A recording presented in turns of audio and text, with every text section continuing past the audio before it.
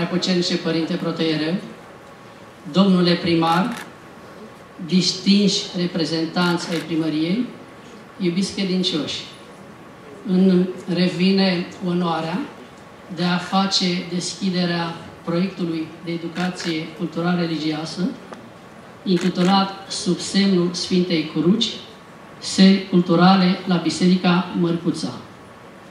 Acest proiect a fost inițiat doar în urmă cu două luni, când uh, m-am întâlnit cu domnul director al Centrului Cultural Mihai Eminescu, care și-a mutat reședința din uh, Parcul Național, tot în acest perimetru istoric, în complexul social al primăriei, care se află lângă noi, și am propus să desfășurăm împreună serii culturale, întrucât avem puncte comune.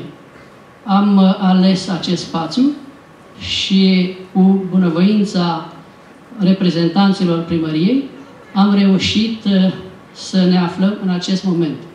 Mulțumim domnului primar, mulțumim uh, Consiliul Local al Primăriei Sectorul 2, mulțumim Protoieriei Sectorul 2 și a Ligii Tineretului pentru uh, Tineretului Creștin Ortodox, filiala Sectorul 2.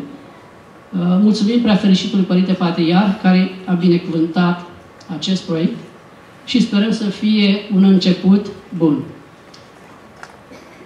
Evenimentul din seara aceasta se desfășoară în contextul praznicului înălțării Sfintei Curuci și se desfășoară în două zile succesive. În seara aceasta vom asculta o piesă de teatru, Brâncovenii, iar mâine seară, la aceeași oră, va fi în mijlocul nostru corul Tronos al Patriarhiei, condus de Părintele Arhidiacon Mihai Bucă și ne va bucura și de momente poetice în interpretarea actorului Silviu Biriș.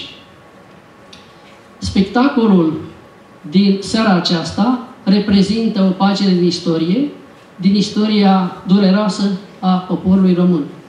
Mihai Eminescu, care în ultima parte a vieții stătea și privea de la fereastra clădirii de alături în acest spațiu sacru, cugetând, nu credeam să învăț a muri odată, a spus că poporul român este format dintr-un șir nesfârșit de martiri. Iar în balada Brâncovenilor, pe care vom avea bucuria să o ascultăm mâine seară, întâlnim laitul motiv să știți că a murit creștin Brâcoveanul Constantin. În momentul în care vom uita acest lucru, vom dispărea ca popor. Destinul poporului român este un destin hristic și un destin și al Maicii Domnului. Pentru că, așa cum Maica Domnului a fost silită să vadă jefa pe crucea fiului său, tot așa și Maria Brâncoveanu a fost silită împreună cu fiicele sale să asiste la acel supliciu groaznic. Nichifor Crainic spunea că pământul românesc este un antimis de sfinte moaște. Iar uh, actorul Dan Puric, când a fost în mijlocul nostru anul trecut și studiind istoricul acestui loc, a spus că noi călcăm pe pământul pe care mergem, călcăm pe sfinți. Sub pământul acesta se află sfinți, se află moaște. Și cred că nu a exagerat, pentru că aici ne aflăm într-un loc sacru. Probabil că ați observat că suntem înconjurați de două clopornițe. Cea din dreapta a fost clopornița inițială și între biserică a mai apărut o alta, pe care Dumnezeu Alexandru Islantu a făcut-o ridicând acel zid pentru ca acest spațiu să fie dedicat uh, eroilor neamului nostru, vitejilor români, care și-au găsit refugiu aici și care au fost tratați, de asemenea au primit uh, îngrijire și toți cei care aveau nevoie de o blăduire trupească și sufletească. Spectacolul Brâcovenii este narat de Maria Brâcoveanu, care aflându-se în ultima parte a, vie a vieții, la Mănăstirea Surpatele, se studia să înțeleagă care este pronea lui Dumnezeu cu ea, cu familia ei și cu țara.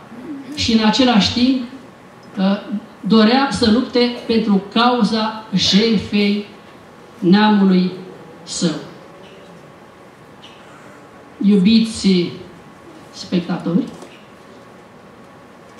scenariul scris de părintele Bogdan Aurel Teleanu și spectacolul regizat de doamna Ivona Boitan se bucură de prezența pe coloana solană a actorului Constantin Codrescu,